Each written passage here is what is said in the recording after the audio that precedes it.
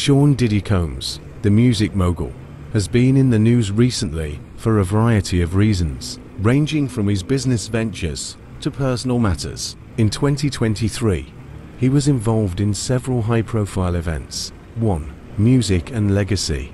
Diddy was celebrated for his contributions to hip hop, especially marking the 50th anniversary of the genre. He performed at major events, reflecting on his influence as a producer, artist, and label executive. 2. Business moves.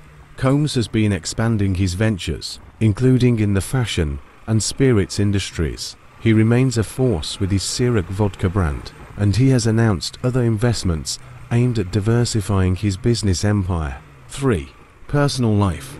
In recent years, Diddy has been candid about his personal life, including the loss of his longtime partner, Kim Porter in 2018, which deeply affected him. In 2022, he welcomed a new child, a daughter named Love Sean Combs, with a woman named Dana Tran. 4.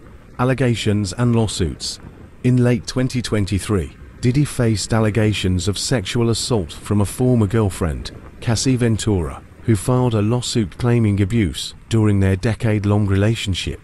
Combs has denied the allegations, and the case has drawn significant media attention. The outcome of this case could impact his public image and business dealings. Sean Diddy Combs is currently in jail awaiting trial on serious charges, including racketeering, sex trafficking, and related crimes. He was arrested in September 2024 after a federal indictment accused him of running an organized operation that exploited women, including coercing them into participating in drug-fueled events known as freak-offs. These events allegedly involved forced labor, kidnapping, and physical abuse. Despite his legal team's efforts to secure bail, Diddy remains in federal custody as he denies all charges.